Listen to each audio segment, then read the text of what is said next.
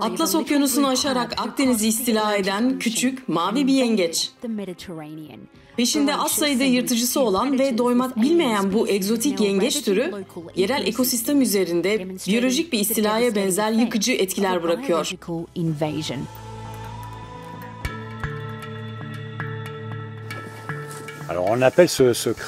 Ona mavi yengeç diyoruz çünkü kıskaçlarının ucu mavi, parlak mavi ve aslında çok güzel. Ama güzel olduğu kadar tehlikeli de. Pirene Dağları'nın dibindeki böylesine güzel bu doğal koruma alanında nesiller boyu balıkçılık ve istiridecilikle uğraşmış bir aileden geliyor olmaktan gurur duyuyorum. Yılın belli zamanlarında bu mavi yengeci istiridye yetiştirdiğimiz ağların içinde buluyoruz. Bir yengeç ağa takıldığında ilk olarak etrafındaki tüm hayvanları öldürüyor. İşi bittikten sonra ise kıskaçlarıyla ağı delerek oradan uzaklaşıyor. O sadece bir yırtıcı değil, lagünümüzü istila eden bir süper yırtıcı adeta. Yılan balığından karidese, balıktan yengece kadar yaşayan her şeyi, kumun altında bulabildiği her şeyi yiyebilir. İmkanı olsa su altını tamamen çöle çevirebilir.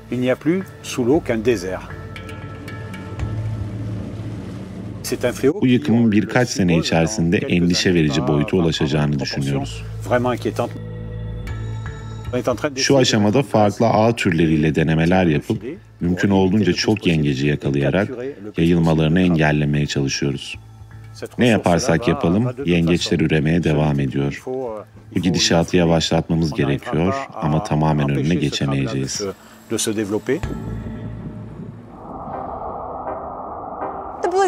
Mavi yengeç Akdeniz'i istila ederek orayı kendisine mesken edinmiş yüzlerce egzotik türden yalnızca biri. Buraya çok uzak diyarlardan ve genelde gemiler vasıtasıyla geliyorlar. Limanda yükleme yapılan şilepler aynı zamanda açık denizde dengeli seyredebilmek için bir miktarda su çekiyor.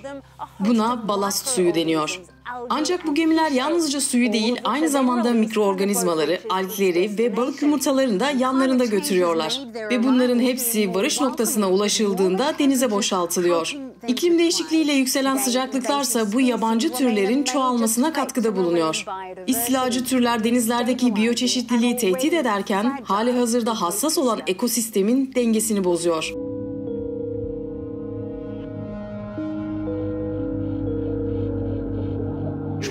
Egzotik istilacı türlerin en tehlikelisiyle karşı karşıyayız.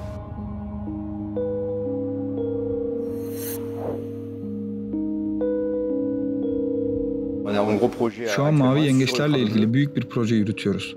Hepçil olduğunu biliyoruz. Şu zamana kadar akvaryuma ne koyduysak yedi. Yengeç ve balık verdi.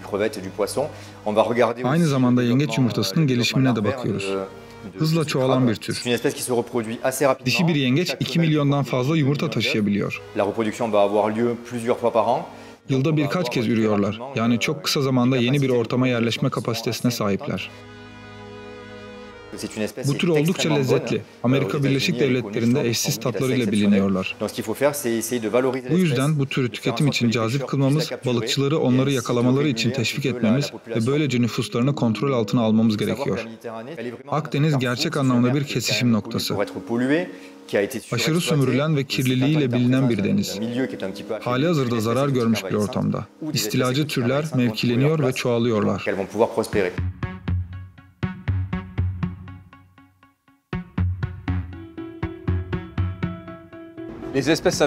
Akdeniz'deki istilacı türlerin büyük çoğunluğu balast suları aracılığıyla geliyor.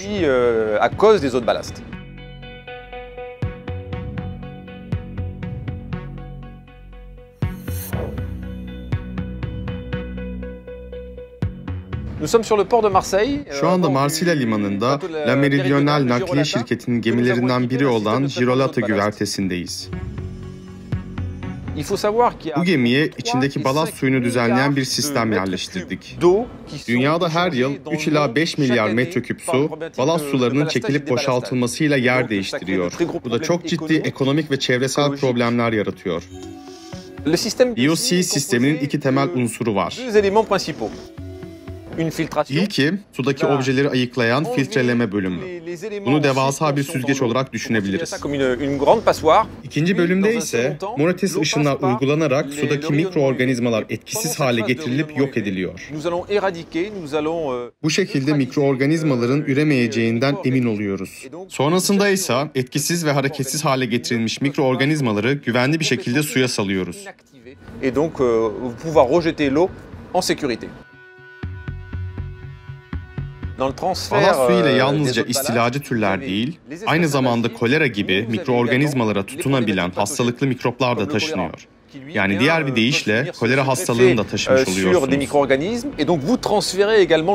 2024'e geldiğimizde dünya üzerindeki tüm şileplerde ve aynı zamanda diğer gemilerin büyük çoğunluğunda balast suyunu yöneten sistemler olacak.